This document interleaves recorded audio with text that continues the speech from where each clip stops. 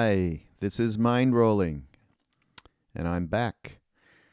And I'm back with a very, very special surprise this week because my guest, who's not a guest, he's been the co host of Mind Rolling through the first well over 100 es- episodes. And it's David is back, David Silver. So I'm I'm really uh, thrilled uh, to uh, to kind of pry him out of this major project that he's on, which uh, you'll hear about in the uh, podcast uh, following this little introduction. But uh, I know a lot of people will be happy to hear Dave again, and uh, I think as he progresses with his book, we'll be able to see him a little bit more, hear him a little bit more. Um, the, and and we tackled a, a really uh, amazing subject topic. You remember uh, League of Their Own with Tom Hanks many years ago? Uh, a female uh, baseball team. That's what it was about. Great movie, really funny. And there's that line that I always loved. That this this particular line. There's no. It, it was there. In something happened and, and they dropped the ball or whatever. Something went amiss and and uh, they were in the dugout and one of the players started crying. And Tom Hanks said, "There's no crying in baseball." And that's what this this talk is about and transpose that to the Tibetan culture where apparently there's no tears allowed. There's no crying allowed in the Tibetan culture. I guess because it's so well. He even says it. This uh, particular article written by a Rinpoche about one of the great, great Siddha saints of the last uh, uh, in the last hundred years. Anyhow, uh, named Dilgo Khyentse Rinpoche, who you've heard about on this podcast from both David and I. He's one of our favorite uh, lamas, and uh, and and he didn't. Uh, he left uh, late seventies, early eighties, maybe, and uh, this is just a, a wonderful, wonderful um, accounting of uh, just what the way in which he opened up and allowed his emotions to run freely when it was counter the cul- the Tibetan culture and what that meant. And uh, just uh, uh, just a wonderful article that we uh, we talk about go back and forth. So I'm really happy to have David back and uh, and having this chat with him and I hope you all enjoy it. I also have a big announcement for those of you may, may maybe some of you have heard. And I've been talking about this for a year over a year well about a year.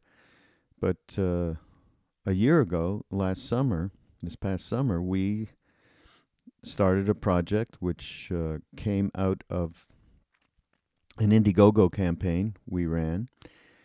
And it was about getting a uh, smartphone app together that would really fulfill what we thought would be a real practical, down to earth way for people to uh, get the kind of reminders and the kind of wisdom from the plethora, love that word, the plethora of amazing teachers that are on the Heart Mind.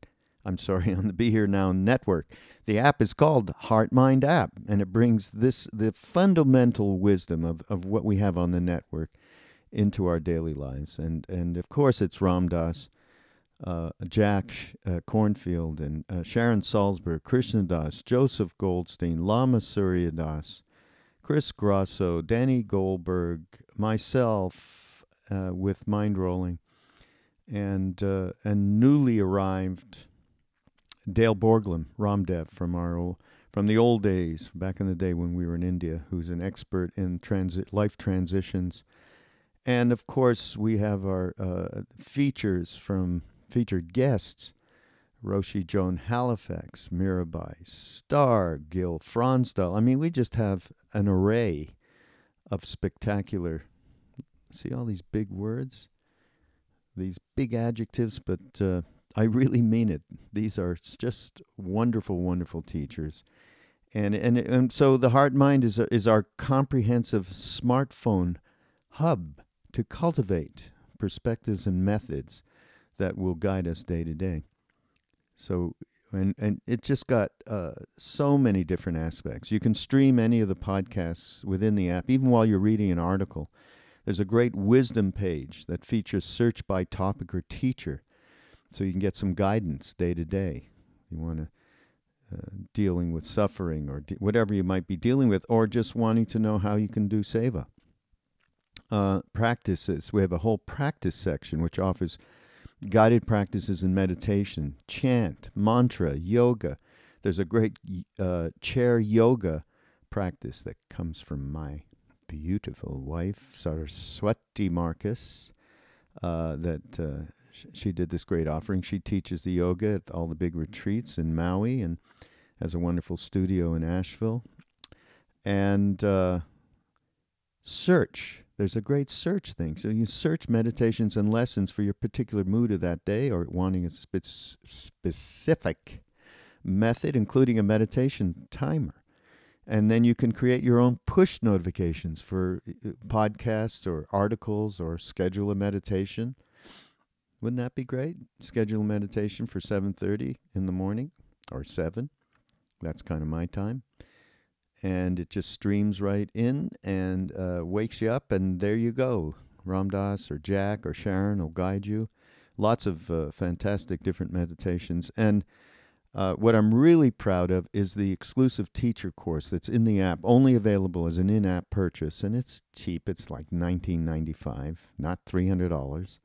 And it's called Life in Balance, and it's uh, we extracted excerpts from many of the podcasts, uh, certainly that David and I did, and beyond that, uh, around uh, how we can manage our day to day lives and g- get this wonderful advice, all done extemporaneously.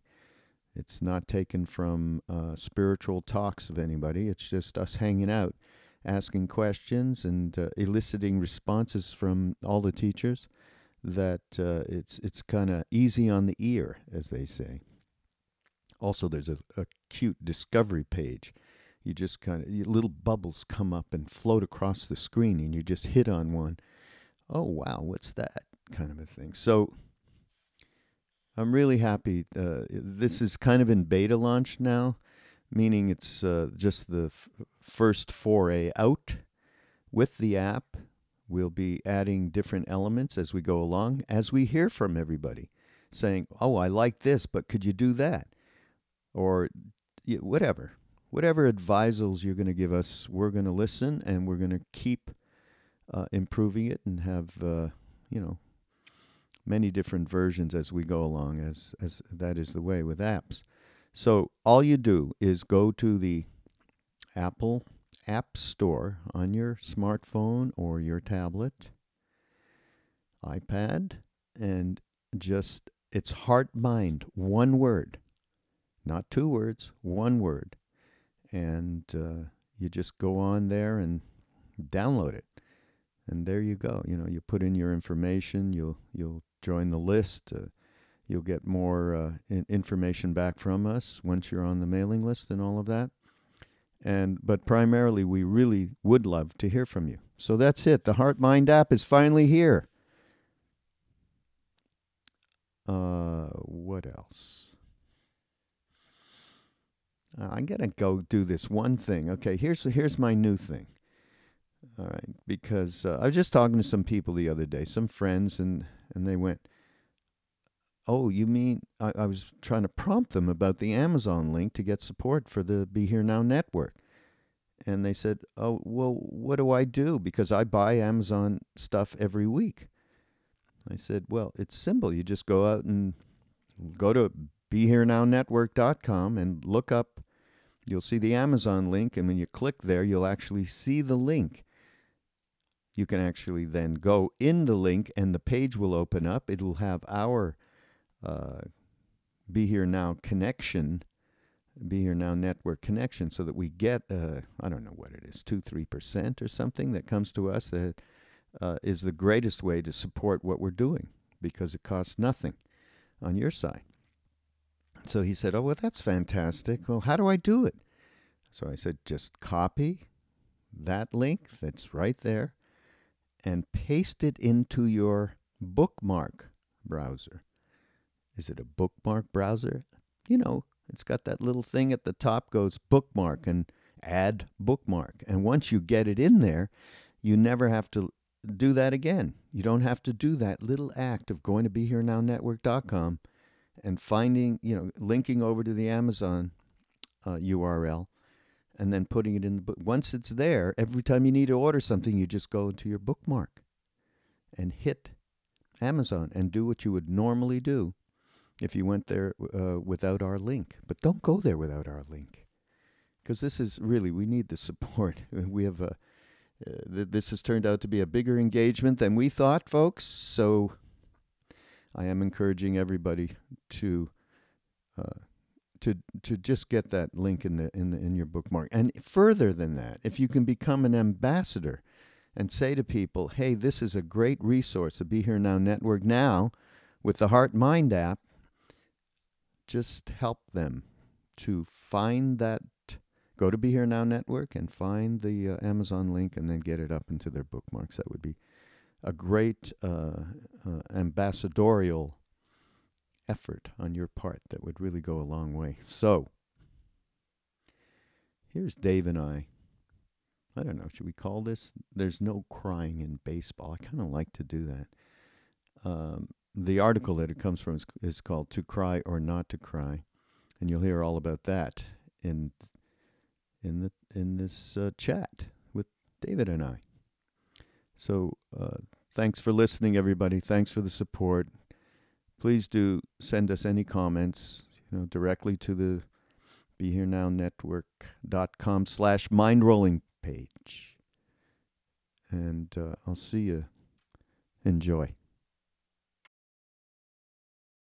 Hi, it's Mind Rolling. I'm Raghu Markus, and this is an acid flashback because David Silver is here with us, and uh, we're we're uh, I just got him out of this deep, deep um, project that he's been in, which uh, is uh, probably one of the most difficult things in the world. Because I did, I'm talking about David's working on a book, and I, I just, I was writing a blog the other day, Dave, and I, I was struggling, and then I thought, what if this was a whole book? I would go out of my mind. Well, that's that, that adequately. But, but, but by the way, thank you for letting me be on, and uh, it's great to be here. But uh, that's what's happening to me, going out of my mind. it's the hardest thing I ever did. But then, you know, I think about miners in Chile, you know, who are under the ground mining coal, and so you know, I try and think of them. You get perspective. I try. Perspective, yes. so, uh, but just uh, David's been working on a, a, book this year, and also uh, I don't know if you say if I can say it right, but as an adjunct to the book, David has a tremendous amount of just uh, incredible footage from all the way back from when he was the host of a PBS show uh, to uh, current times when he's done work with the likes of Roger Waters. And so that's all going to be part of it. It's a huge project, folks. That's why you haven't heard from David. It's ridiculous. I, have edited 117 videos. Uh, uh, completely edited them. Some of them are a minute, some of them are 45 minutes. Mm. But I've actually done that work. I went through all my archives and found a machine that could transcribe from ancient masters to digital. Ancient masters, that sounds like something else. Yeah. Uh, but really old, uh, you know, formats. Yeah. And this little machine just puts them right into oh, the digital part of Final Cut Pro. So it's been a revelation to me. And, and sometimes it makes me really happy. And sometimes I go into a miserable depression looking at myself doing something when I was 23 yeah. and, and, and how completely and totally clueless I was. I can't wait to see this. Yeah, and, and the, the, book is uh, loosely going to, of course, tell David's story, uh, which uh, if you've listened to Mind Rolling uh, with David and I, especially the early episodes, which David I've listened to a couple recently, a little bit of because uh, one thing or another I needed to, and uh, there's some, as I've said to you offline, there's some great fodder for for stuff for the book there. Um, but um, of course, David has had encounters with a remarkable array of different people, from the sweeper uh, in the streets of Delhi to the uh, Prime Minister's office uh, to uh, high uh, Tibetan Lama. I mean, just amazing stuff. And so, rock stars, lots of rock oh, stars. rock stars, right? Yeah, I'm like a groupie. You know, it's funny. Someone said, uh, probably Oscar Wilde or something, but no, no, this is too non-ironic for him. That you can remember everything if you're telling the truth. It's like when you're in court being accused of something or something. You know, just tell the truth. And and then I saw this wonderful Louis C.K. routine when he says, "Why do parents, you know, admonish their children about lying? It's the most brilliant, miraculous mechanism." I mean, you've got someone you really don't want to see. And you, I just don't want to see this person. I've given up on this. I can't, I can't see this person. And you say when she or he calls you, uh, no, I'm going to be in Australia in my tour then. And she goes, oh, Louis, I'm so sorry. Uh, yeah, I am too. I'm sorry. I got to go. He said, look at that. Immediately, one lie, done. That's a little Larry Davidish as well, right? It is, yeah. but but in in truth, writing this book is is is truthful because it, you know, I mean, you never know if you're exaggerating or something. So I'm trying to be, you know, on the case. You know, for instance, when I I met I met Richard Nixon, the President Richard Nixon, twice, and uh, both experiences were really positive. And and when I was growing up, this is a chapter in the book. When I was growing up in England, my father uh, didn't hate anyone. He was a very lovable, loving person. But if there was one person he did hate, it was Richard Nixon. you know, and I actually told Nixon this, which is very interesting, and how he responded to it. So you know, I remember it like it was yesterday, and it was actually 1968, uh, a few days before he announced for the presidency, and. Um, it's all those years ago, you know, and I remember it perfectly like it, like uh, so that's a real blessing actually. Um, we that should, I can. You know, you know, we should do. If you get the book uh, in hand, we should do like serial, the podcast, right? I exactly. well, yeah, because it's it is actually you know there's all kinds of ups and downs in it. It's not a particularly personal book. I'm not going to talk about my divorces and everything.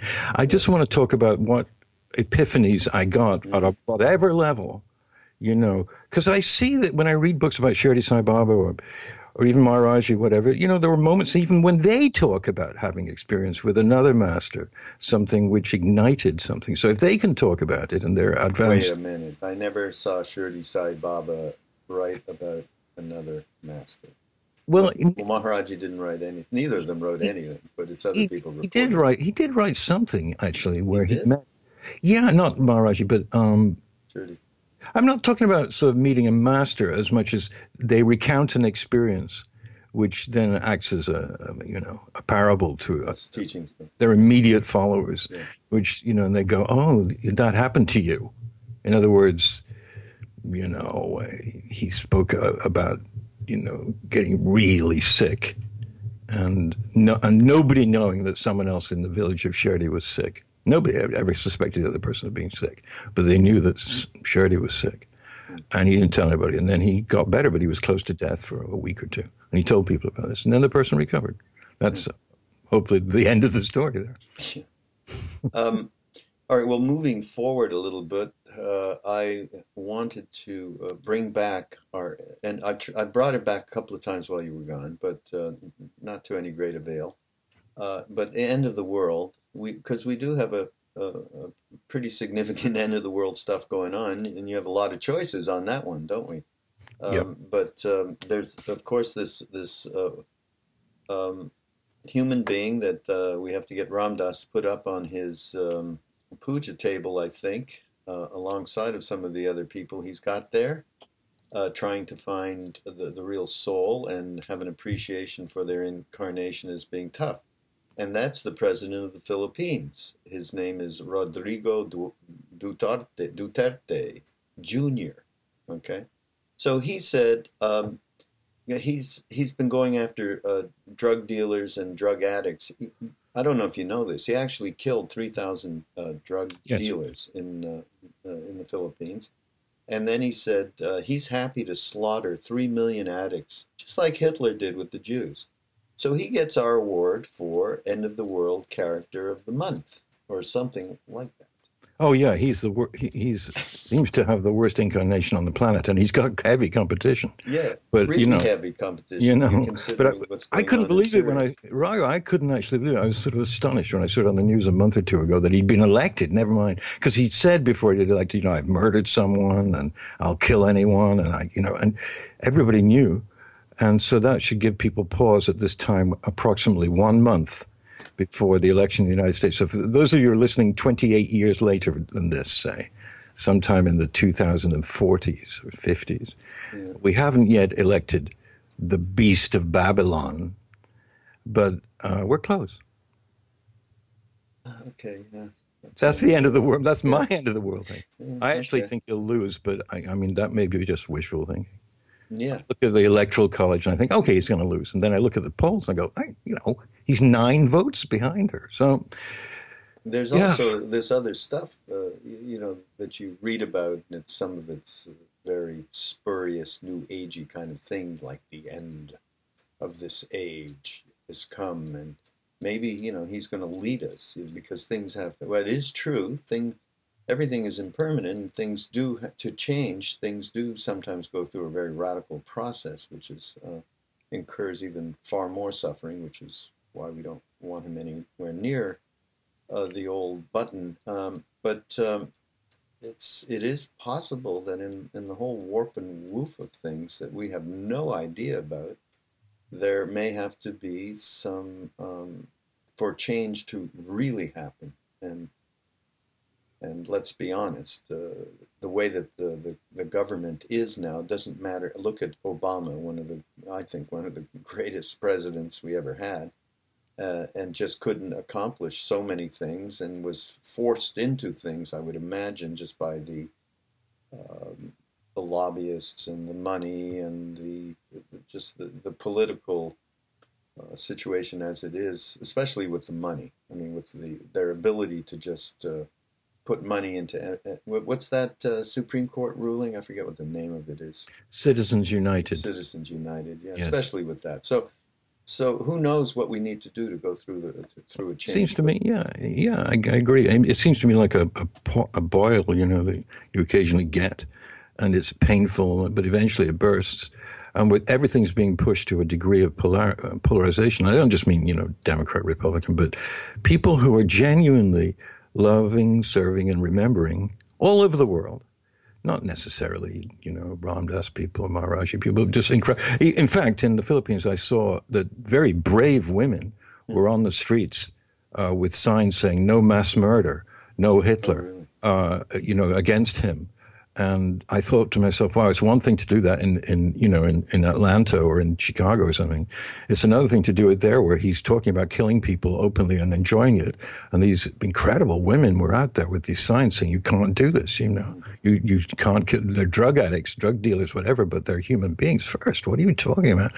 So those polarities exist on the planet, and I really yeah. don't think that's a Pollyannish thing to say because, you know, we know we've talked about this many times, Rocket. There's so many people involved in trying to um, become as aware as possible of as much as possible of their being, and and that, that involves uh, you know subek and oneness, and therefore, you know.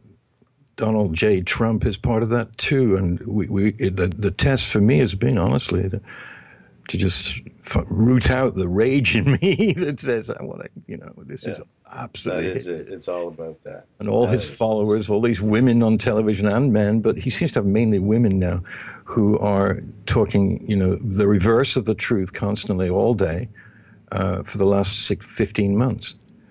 And yet, on the other hand, we do have a fantastic prime minister in Canada, and you know the whole thing, Desmond Tutu and Martin Luther King and Mohammed Gandhi and, and so on. You know. Yeah. Yeah. Um, the pillar. You know. Yeah. Well, I think you just said it. Root out the anger, the frustration, the hate, whatever it is. As soon as the name just comes up, I mean, and that's. Uh, I mean, I had to make a promise to my wife and partner. Really, she's my wife. Um, you know, some months ago that I would no longer be actually screaming at 6:30 in the morning when she was just going off to her work, uh, saying that you know that basically I, I was I was you know uh, in an insane state of of, of, of uh, animosity towards the images I was seeing on on the on the TV. Apoplexia. I have actually stopped. It was so unhealthy, but you know, hopefully we can all relax in approximately a month and go, okay, now we can get down to or or whatever, right? whatever, or whatever, or the big whatever. Well, exactly. okay. So the next part of uh, what I wanted to talk to you about was an article I shared with you. It's it's called "To Cry or Not to Cry." It's written by a Tibetan Lama who's an incarnate tulku, meaning that he's uh, uh, take uh, he is the uh, in this in this body uh, the um, you know, there's no way to even say what the reality is because we don't know. Although I have experienced meeting uh, one of the, at least one of these uh, tulkus that I and I, I, had met his predecessor and and I knew, uh, which is the Karmapa 17th, and I had this. I couldn't describe kind of feeling like, holy shit, this is the same thing I felt with his predecessor. I mean, there was a certain something. That's amazing. And so there's no way of you know understanding any of this stuff. But he wrote this uh, fantastic article. Well, Dave, I don't even know if I explained to you how this came up. I might have briefly, but uh, this this came as a result of me talking to Krishna Das. Many of you know Krishna Das, of course, um, and he's on the uh, Be Here Now network as well. Uh, and we were talking about a situation where I was told or no, he was told. I'm sorry, he was told. It, it was about him doing a course, and uh, you know, a, an online course, which are very, very popular these days. All sorts of different spiritual courses, and so of course, of course, what he was going to be doing would have the element of devotion in it. Naturally, he's from he, we are from Bhakti Yoga tradition, basically, through Neem Karoli he was told by the company that he was uh, his people were pitching and talking to, uh, yeah, we'll do it because it's you, but we don't expect it to sell very well. Oh, really? Yeah, no. The only things that courses that sell well, well are the non-dual and Buddhist courses. The other things don't. You know, anything with devotion, you know, guru, uh, surrender, you know, all of that stuff. Surrender. It's just not happening today. Okay. I didn't say it like that. Uh, so he was like, "Can you believe this?" He was saying to me, "You know, can you believe that?" And I've had this told to me as well. And the reason that Ram Dass does a little bit better is because he really, in the earlier days before his stroke, could elucidate this material and what it is to tread the spiritual path in a way few others have. And so, uh, so anyway, we had this discussion, and he said, "I got to send you something." About it's it's a Buddhist, uh, a Tulku, a Buddhist Rinpoche, a Tibetan Buddhist Rinpoche, who wrote an article about meeting one of his teachers, uh, whose name is Dilgo Khyentse Rinpoche. So, so this again, this this uh, Rinpoche, his name is Dzongsar Khyentse Rinpoche, and uh, he. Well, that it's not going to do anything to say who his. Well, we should just to give complete credit. Uh, he was the tulku of Dzongsar Khyentse Chokyi Lodro. Okay, hard to say, but now that Chokyi Lodro apparently was very, very dear. This is because we're going to tell the story here to Khyentse Rinpoche. Okay, and and David and I have talked about Khyentse Rinpoche and quoted from his his books and so on. You you have a, a good quote? yeah, his, it's yeah. it's called it's called the Hundred Verses of Advice and they're just astonishingly helpful. this was a six foot eleven man, huge man, who was basically a real bodhisattva. I mean, no doubt about that. Anybody who's been with him or met him or anything uh, knows that. Um, so, um, yeah, do, do you want to read that little, just to give us an idea of who we're talking, or who Dzongsar Khyentse Rinpoche is talking about in this article, To Cry or Not to Cry? Do you want to do that? Uh, w- w- from the article, you mean? No, no, a quote from the uh, one of the hundred verses. Yeah, yeah, yeah. They're really about the perspective of of certain death, and the and and and the resultant deathlessness that occurs in consciousness because of that uh, cultivated perspective. Well, it was the, the, the, guy uh, who wrote, I forget the name of who actually wrote it, that, that uh, Khyentse Rinpoche. Oh, is. it was, um, uh, it was actually, um, oh, I, let me just look at it. It's, well, it, it, I don't know because you're right. There, there's someone else, but it's it, yeah, it's their version of it because yeah. then it was translated by someone else. But typically, I'm just going to choose them at random. There are a hundred, and um, yeah, just give us one here so uh, people can. Now, the, he's talking to the people in his village. It was a place called Tingri. So every single one of these has got the word Tingri in it because he's actually sitting in front of them, talking it. Um, just before he died, this Lama, before he died, he gave his the people in the village 100 verses of advice. Okay, number 46, which I just chose at random.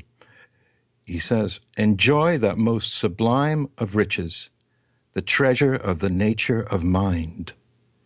People of Tingri, which cannot ever be depleted. Hmm. Okay. Simple little. And then his, so what's uh, Khyentse Rinpoche's uh, comments? He says, um, and that's one of the more the less scary ones because yeah. usually he's saying stop everything you're doing and all the stupid trivial nonsense distraction that are involved in including any emotional attachment to anything and just remember you're gone soon that's his normal routine right okay he says of this with enormous effort and determination, you might manage to amass an immense fortune and innumerable possessions. But do you think you can keep hold of these riches forever? However, there are other kinds of wealth, resources such as wisdom, compassion, faith, generosity, and diligence that multiply as fast as we use them. These precious jewels abound in the very nature of the mind and are free of all the shortcomings of samsara. Nice. Yeah. So Khyentse Rinpoche, uh, and he he was a, just extraordinarily well acknowledged as being one of the great lamas. Uh, he he passed in '91, I believe. Yeah, not that long ago. So so that sort of sets sort of sets the stage. Now, no, many the whole sentiment, you'll get this, I think, when I read some of this stuff, Dave. Um, so, after barely surviving more than half a century of this hallucination of life, having driven thousands of miles on some of the most treacherous roads in places like India and Bhutan, having flown hundreds of thousands of miles around the world in flimsy airplanes, having eaten who knows what kind of food from vendors in Bangkok or toxins camouflaged as high tea at the Peninsula Hotel, I have come to realize that being able to cry is a gift. Okay, that sets the whole premise for this uh, particular. Uh, actually, he's writing a book. By the way, everybody, we're going to give uh, you uh, when you go to uh, Mindrolling uh, for this episode with, with David, and you go to the page. There will be a link because he's. This is episodes that he's writing for a book, actually, Dave I think he's got four or five chapters, and you can actually read them up there. And so, what, what uh, what's his name? Dzongsar, D Z O N G S A R, Khyentse, K H Y E N T S E Rinpoche. And so we're going to have all that information so you can follow and even help support what he's doing. He's doing amazing things. Um, so he he grew up where emotion was any kind of display of emotion was inauspicious.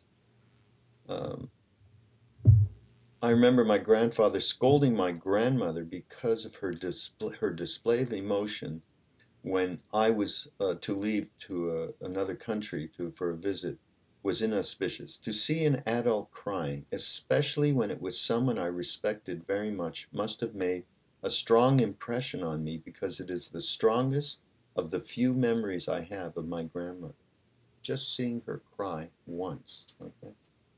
Uh, so that just gives you an idea of how that was really uh, frowned upon in in the uh, in this culture completely.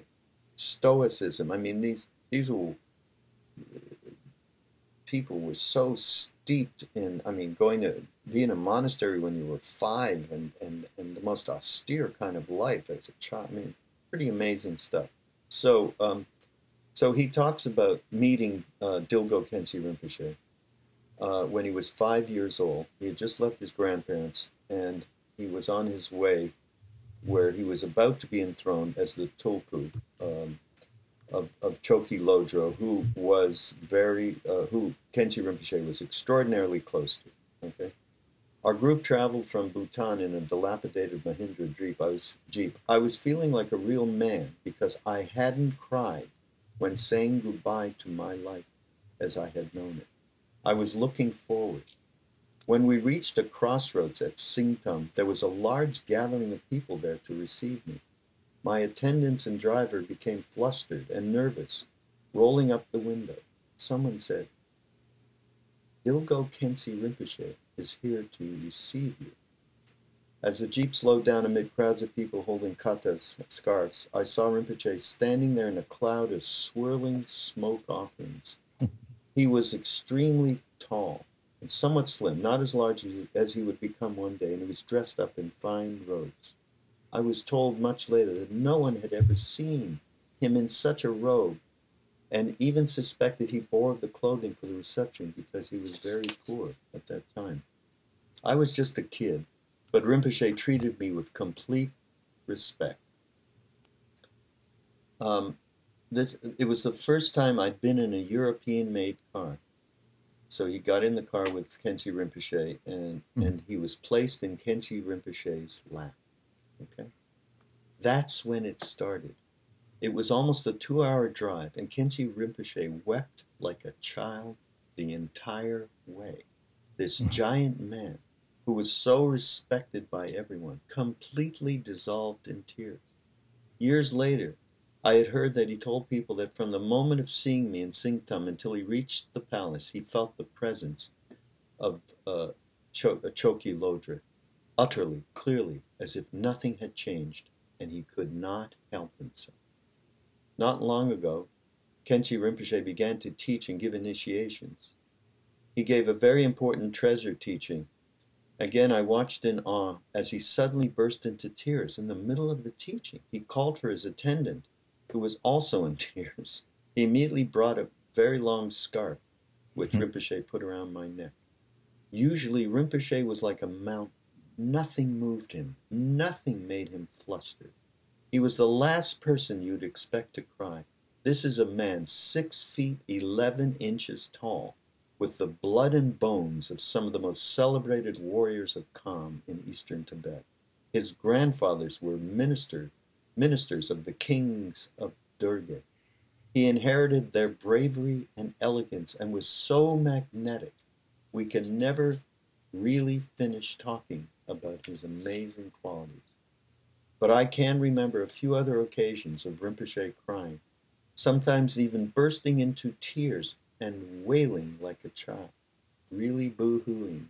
Mm-hmm. He was also capable of exhibiting great joy beyond anything I had ever seen. Um, you know, when here, here's let me oh, just say the kicker for this because he he looks back on all of this, and I won't read the rest of it. This whole article on everybody, oh, this amazing. is fantastic to, to it, read really this is, thing. Yeah.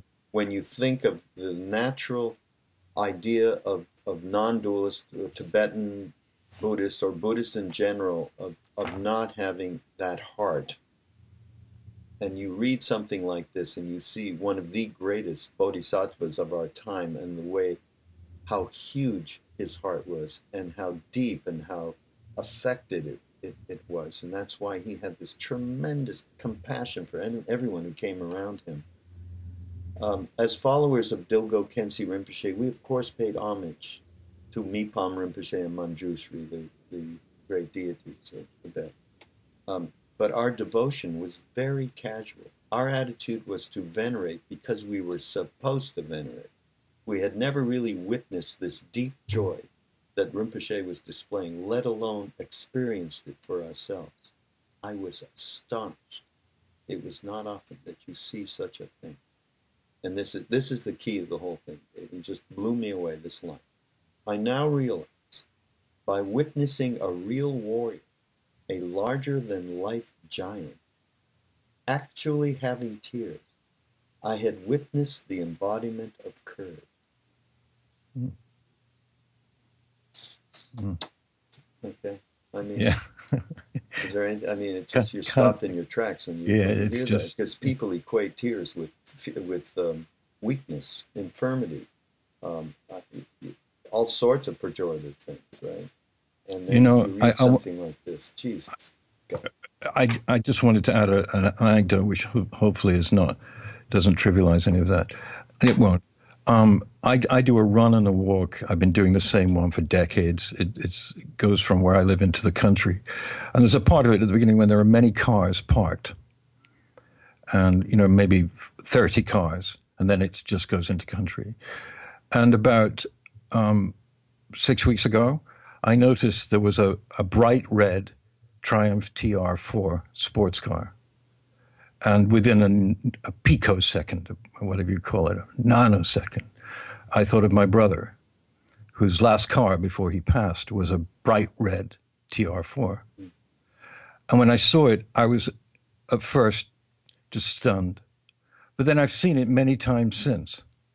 And it's never moved because the guys, I, it just seems to be dumped there. It's not like someone hmm. seems to be driving it. Every time I see it now, I burst into tears.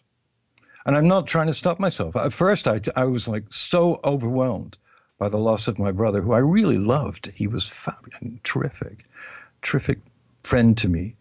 And then I suddenly found myself crying as I approached it because I could see it. It's bright red. I could see it a hundred yards away. And immediately they'd be welling up. And I realized I hadn't grieved for my brother as much as I really should have, I don't think. I'd avoided it. I I kind of repressed it.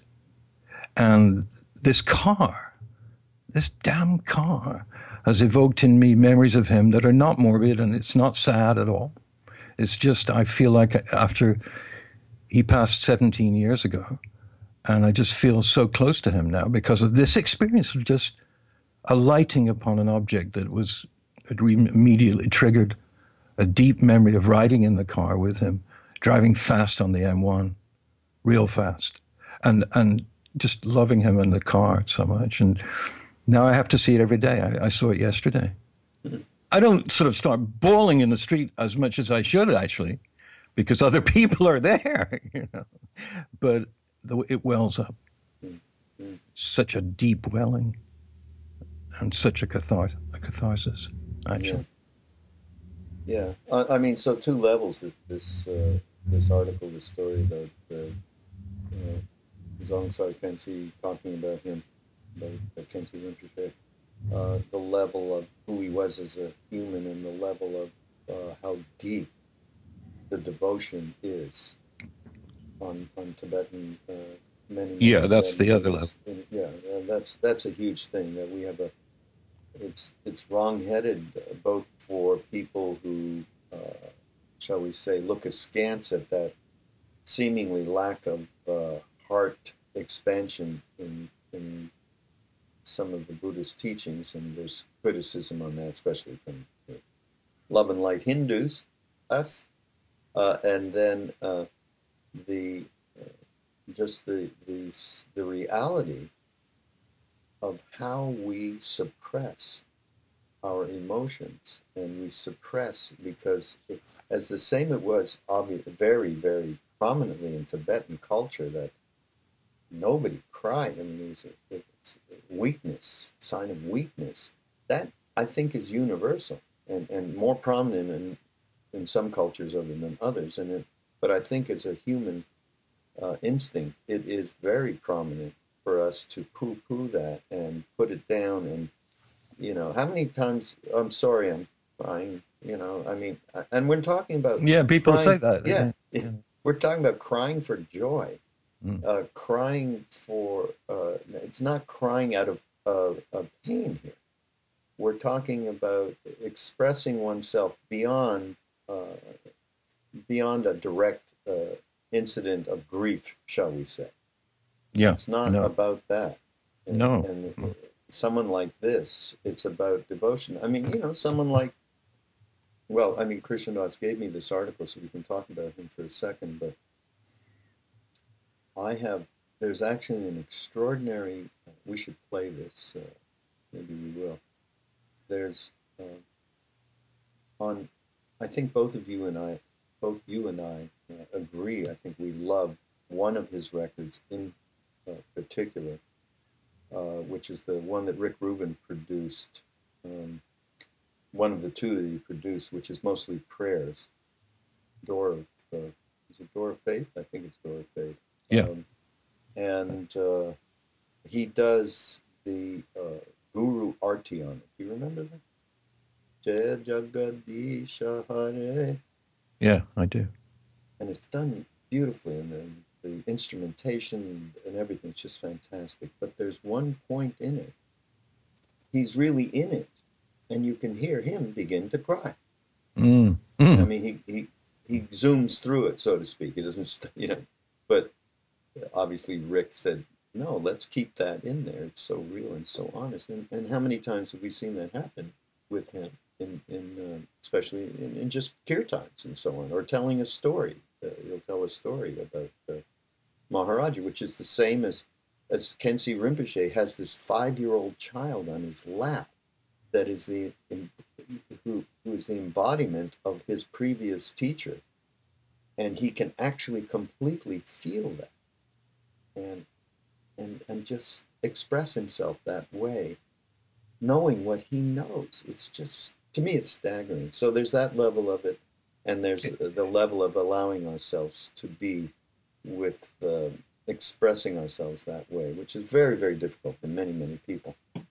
Well, yeah, particularly for people brought up in sort of puritanical and, and very stru- class structures and stiff upper lip and that nonsense, which we now know is is very difficult to overcome. You think you can just say, "Oh, well, that's ridiculous," and then you're okay. You're open, and your heart is open. I'm, I'm struck by the fact that within that, within what you just said, and what, and, and what this article is about, and who it's about, therein is is is the heart that would be denied by uh, non-dualists who would say, well, you know, because therein is the heart. How much more heart could you have than to be overwhelmed by not only a master, but by something like Manjushri, who's a deity who, you know, we're talking about a deity. And, and so the devotion to that opens the heart. The master cries, you know, he's at one with that. It's so, I mean, it's such heart. Yeah. It's complete heart. It's the, you know, and I must say that, uh, you know, uh, the, that we're lucky enough to have all these great teachers wandering through our lives now from Tibet and other places. And they, the ones that I've come across, everybody from uh, Trungpa onwards has, has not particularly espoused the idea of, you know, devotion being dualistic and therefore um, ultimately not, you know, not the ultimate. I guess is what I'm saying. Yeah. But I, you know, it's hard to talk about this because it's so overwhelming what's in this article. Uh, you know, the the the connection of this master, this six foot eleven warrior, super person, you know, because of his consciousness and how completely amazing he is.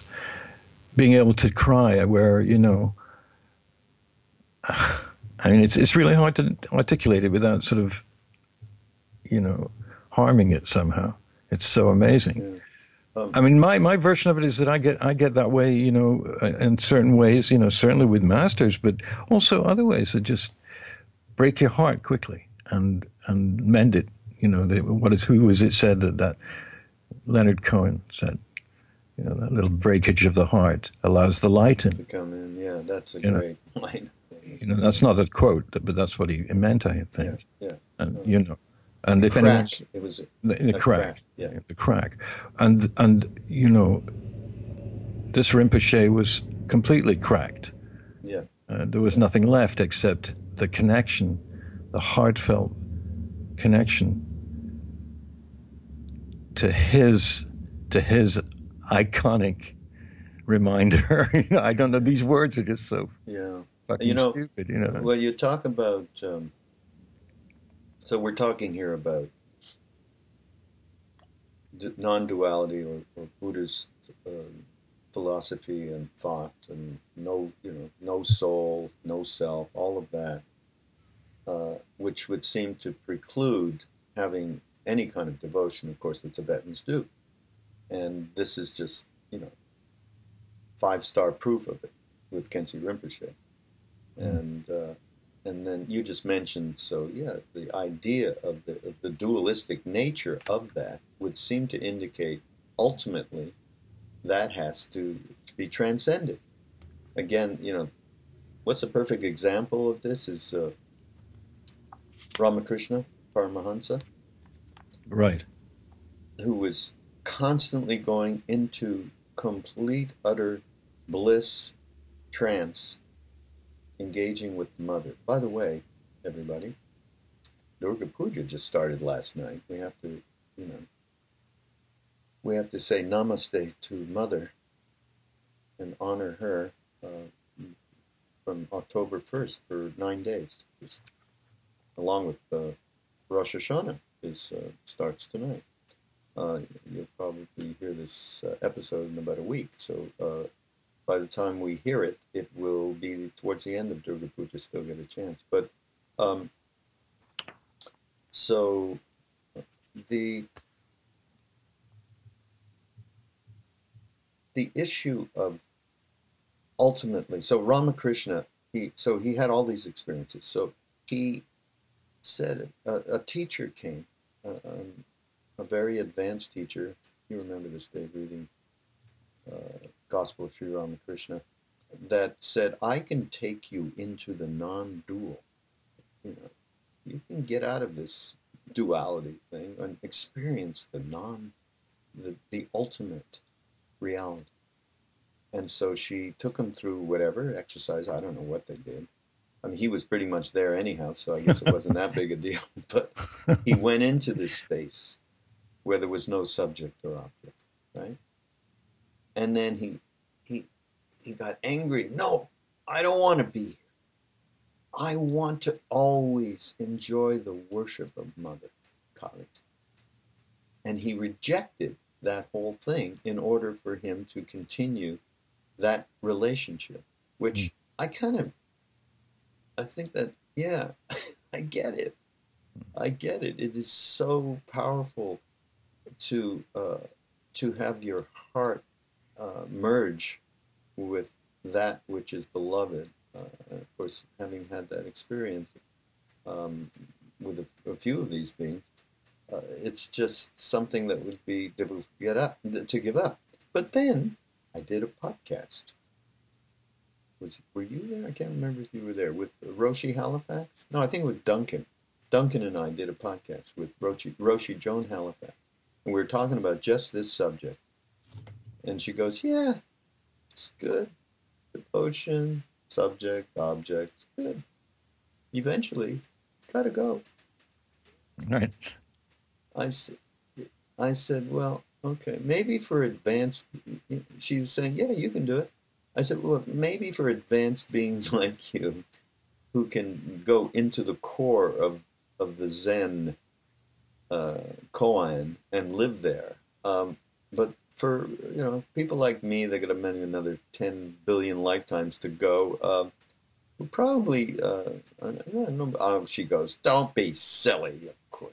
Anyhow we had this whole no, it, you know, it, reminds me of something. You, know, you, I went to some exhibit of of, of uh, Tibetan and, and, and Himalayan basically Himalayan art and it was all Pure Lands right? It wasn't you know, Mahakala or anything like that. It was the Pure Lands exhibit. Mm.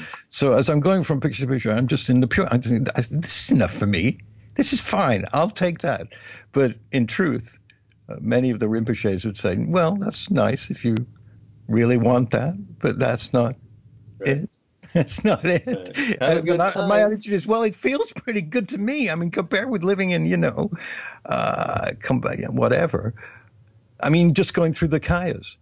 I mean, if you go through the three kayas, you know, at the end of it, is Nirmanakaya an Advaitic absorption? Is it uh, is that love so great that we can't even imagine it until we are it?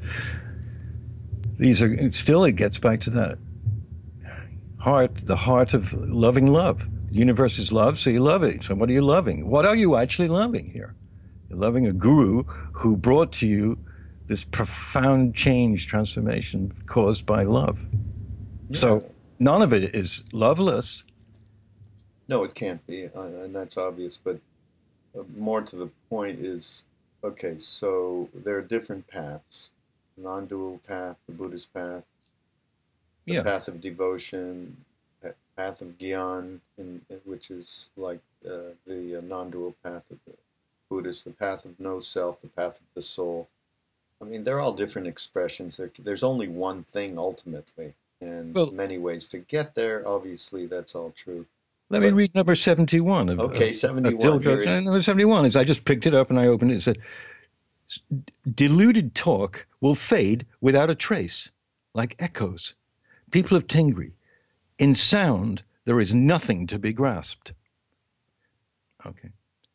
Um, and I want to read its little explanation. Yeah. It's, we like to hear compliments.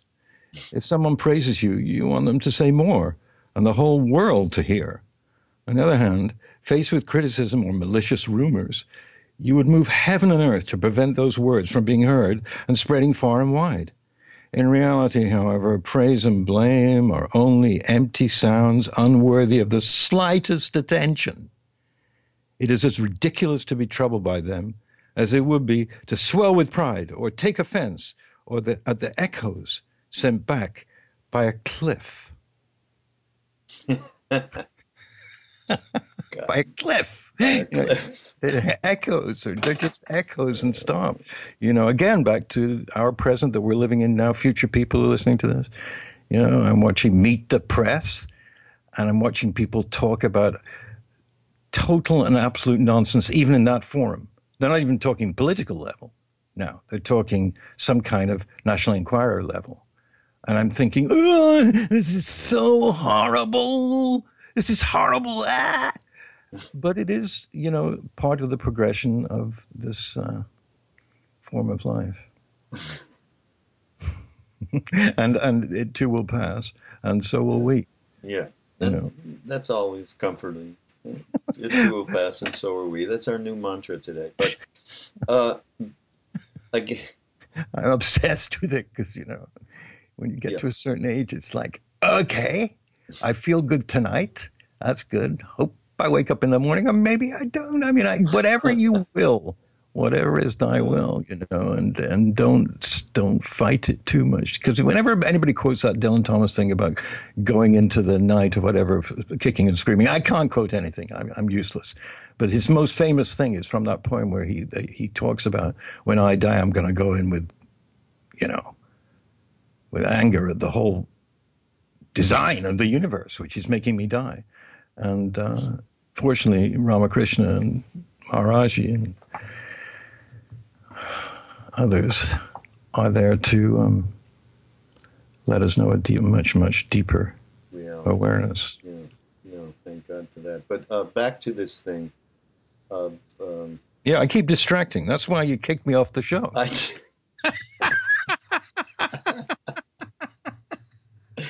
uh, you maniac. Oh my God, I'm going to kill myself. No, I, I, I have to retract that. That was a joke. Oh, it was Lord, joke. It really was a joke. Um, uh, not no, a nice. Hey? Wasn't a nice joke though. Oh.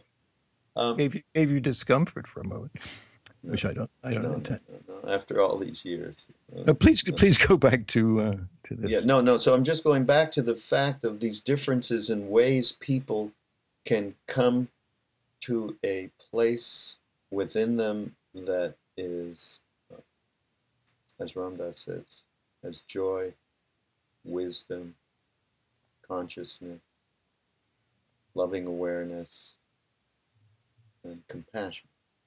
And that's what, okay, that's, I think everybody wants to aspire to that, that, that, that has any idea that we are not just our minds and emotions and, and all of that. So, so the different ways that we can come to that are extraordinarily varied, but uh, reading this article, To Cry or Not to Cry, from Zong Margaret, let me ask you a question. Yeah. given that we know that a major pillar or component of Buddhist following uh, teaching is altruism, and always has been. It's not like that just turned up like you know for yeah, us. Bodhisattva vow, yeah. Doesn't that actually automatically imply devotion to all sentient beings, uh, as well as to, you know to that? So isn't that already uh, takes out the dryness of everything because that's yeah. compassionate altruism are, are linked completely. Not to be uh, too critical, but I do think, uh, on, on behalf of the uh, non-dualists or, or, Buddhists, or some Buddhists, some non. I mean, this is you cannot talk across the board. There's plenty of uh, Hindu Advaitist and Hindu uh, devotional people that are uh, not sincere. I mean, there's they're, they're not. It's not that they're not sincere. They're just not haven't come to a place where there's enough sincerity about and honesty, which is another reason why Ram Dass is so popular. Um, but um, so I I just think that uh, the the difference really is minimal in, in all of this, and, and the fact that uh, those attributes would indicate, as you're saying, uh, a soft heart, right? Yeah. Just that virtue alone would indicate a soft heart.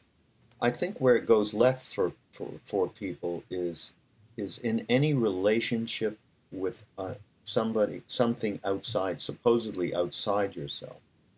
So, I mean, for me, I needed uh, Maharaj Neem Karoli Baba to hit me over the head so I, I would understand that I was not my mind and emotions, that there was another. I mean, I got it from acid, certainly, but mm. then I got it in spades in in that situation in a way I could never.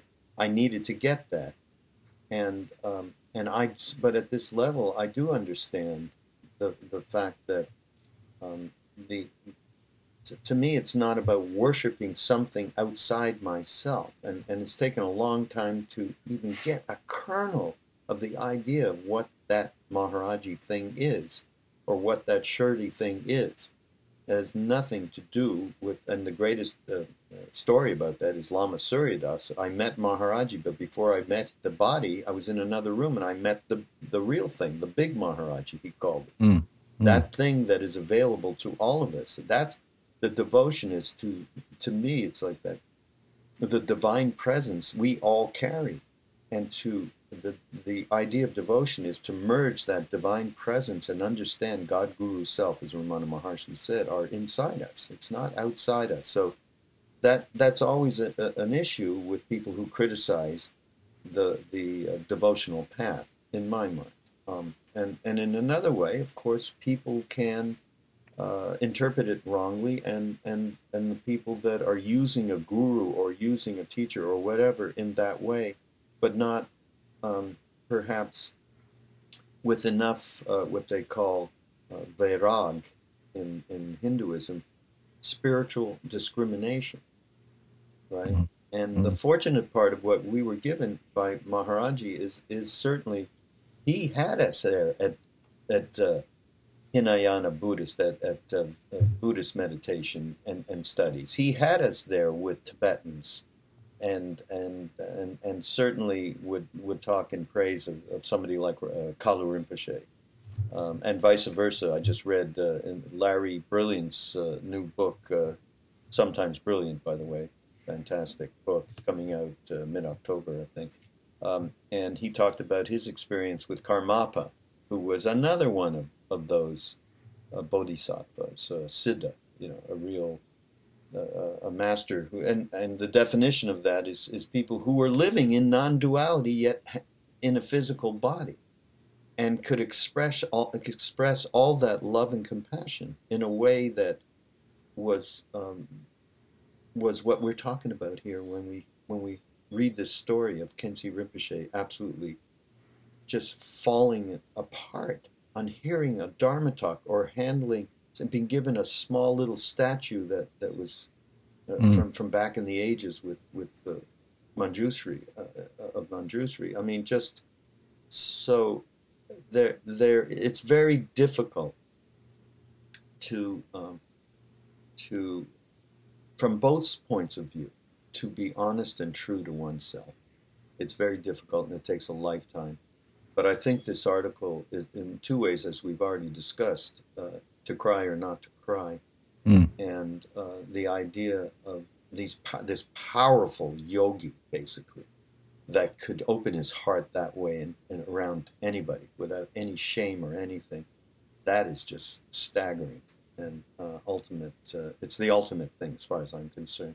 And then just on the level of you and I, you know, opening our hearts and, and that story you told of your of your brother and seeing that car and being triggered and allowing yourself to just be in that moment, not out of uh, grief or anything, out of love. I think that's uh, But it's a learning process because I think if, if the guy had driven the car away in that particular s- story, you know, I would have forgotten it. But it's not, it's there. So I see it every time and I, I walk and run frequently. So, you know, yeah, I think 30 years ago or something, I would have just said, okay, I'm not going to cry. And that's just this, this level of life, this incarnation of where we're at know. you know, and and you don't cry. I mean, yeah, you know, my mother died in my arms. I was holding her. I knew she was going to die because I'd been with her for three months, just in this small cottage in Sussex, and uh, I'd watched her breathing for all that time, whatever, you know. But then the, a certain kind of breathing happened, and it re- I remember reading something about that breathing, and I was holding her, you know, and she died, and she was gone, and um, crying doesn't cover it. You know, it was just I put her down, you know, and then I just sat there and I couldn't cry. I mean, I had to go and get my sister who was in the back garden, bring her in, Mm. you know. And then when we, we both came in there, and then my other sister arrived, and we, we all three, and we just, you know, we were just sitting crying, crying, crying, crying.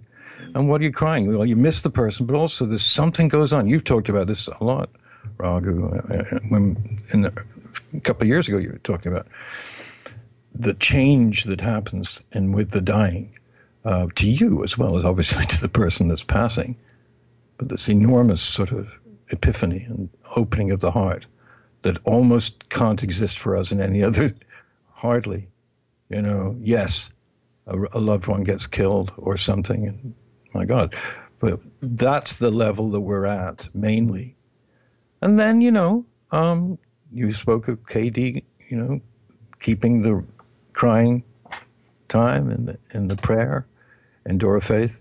That's the next level. And then after that, it, it's who are the masters crying for? Well, they're really crying for everyone. Yeah. And you know that we have to go through this life of, of you know earthquakes and hurricanes and hurricanes of consciousness and all the stuff that we experience in the earth. Wow, you know, and someone's crying for us, and uh, you know, And thank thank the Lord. Yeah, courage. It, it, it, it, this uh, the way that this comes up for uh, Dzongsar, the uh, the how he expressed that ultimate. This is ultimate courage, and and I've told this story a billion times before, and I won't tell the whole story, but also to do with Maharaji saying to Krishna Das, courage is a very important thing, which belied because the Indian that was in the room said, "Courage." What, what do you mean courage? It's the Guru's grace, and that's it. You know, you don't have to do anything. Courage. And Maharaji turned to him and pointed his finger and went, "Courage is a very important thing." And Krishna Das has had that his whole life, and, and uh, like just me hearing it too. I mean, I have contemplated on that a lot. So when I hear, uh, I now realize by witnessing a real warrior, a larger than life giant, actually having tears, I had witnessed the embodiment of courage. I mean, that's really something to contemplate for us. I don't care if you're a non dualist, a dualist, whatever the hell you are in any walk of the path, that that is, uh, just think of that. The courage, in this case, to express that deep, deep love with those tears. And, and like you just said, what are the, what are the masters expressing? It's a love for and on behalf of all of us. And and it's not individual. Uh, It, it I, I would say this: it is individual and it's also universal. I think that's the beauty of these beings who have gotten beyond their limited selves. Mm. So uh, it's I, I just uh, it's like you know how many times I say to people, though "This is." they're crying. There's no crying in baseball. Remember that line from A League of Their Own? Tom yes, Hanks says the yes, woman great. in the dugout, yeah. crying? There's no crying. well, folks, there is crying in baseball. Okay, that's it. I got to, you know, I have to get myself reoriented, thinking whatever the hell I was thinking when I. I've said that more than once to people too. Start weeping about something.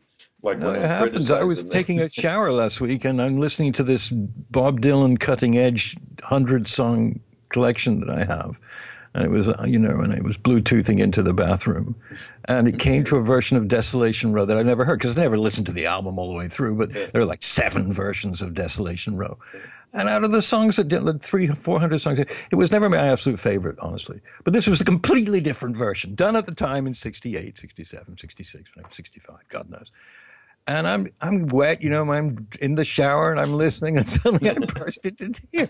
Really, ah!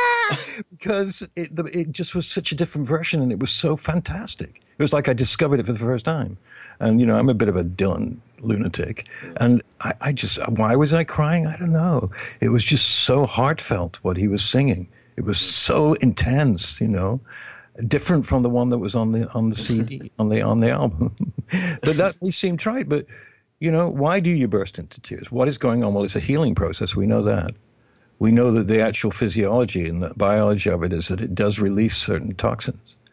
And something comes out of your eyes. I mean, it could be coming out of your ears. It could be wax in your ears that falls out, or it could be hair falling, or it could, but no, it's not. It's H2O with salt in it coming out of the orbs of your eyes or the eyes. And it signifies love and absorption and oneness. It does, no matter what. If someone's crying, well, there's different levels of it. Well, I mean, no, no, no. crying about the this, this kind. again is not. I'm not talking about that. That's madness for you. I think you should, I think you should stop doing that. But you know, um, tears. There's a great Los Lobos song which I can't remember what it is, but it's called. I think it's called Tears of Rain or Tears of the mother or something. It's a beautiful devotional prayer type Los Lobos song. It begins with the word tears. And oh, uh, we've got to get that. Okay, we got to find that. Everybody out there, we're going to find that. Oh, it's so beautiful. It, it's so beautiful. I'll look for it. I yeah, will. Please, because I have to put it up on the page alongside yeah. of uh, all these other things that we've been talking about. So yeah, we're at the end of the old uh, hour here. Oh, really? Yeah, just flies by, right? Especially when we haven't done it in a while. Yeah. Well, um, yeah. Uh, well, thank you for having me on the um, on the as Brian Williams would say on the broadcast. when did people stop using the word broadcast, Brian? Like yeah. 25 years ago. But I love you, Brian. You're yeah. cool. Look where he uh, ended up. Yeah, uh, exactly. On MSNBC. Uh, well, and, could be worse. could be worse. He could be just be podcasting worse. into nowhere. Yeah, right. no, no, we're, we're doing good. So uh, this is Mindrolling on the Be Here Now network, and no, I didn't mean that Mindrolling is podcasting over. But if Brian actually decided to do a podcast, you know, those are the people who get like eight million yeah, listeners. Right. Actually, in truth, you know, yeah. well, and, they're they're brands that are on national television. It would make sense. Exactly, but it's it's so. But you know, you're close with this. Yeah. Well, thousands, hundreds. Well, what is it now? Uh, yeah, it's like uh, maybe going 40, 50,000 a month, something like that. So That's pretty. It's not that.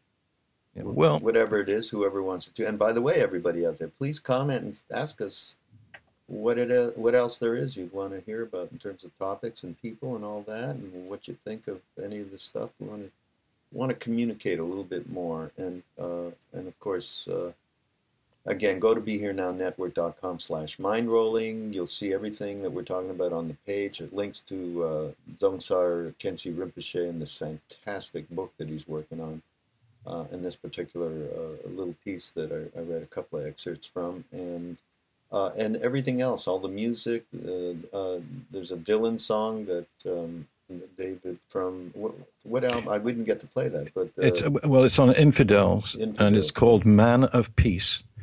and um, it's an not just Dylan's normal band. It's an amazing band, which I won't even try and describe, and it's just beautiful. But it's about, um, you know, to be discriminating about who you think is a man of peace Mm. or isn't, and what that's about. It's really quite amazing. Oh, okay, great.